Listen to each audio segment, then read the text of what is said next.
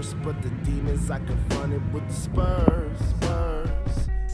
Have you ever heard of some shit so real? Beyond from the heart, from the soul, you can feel.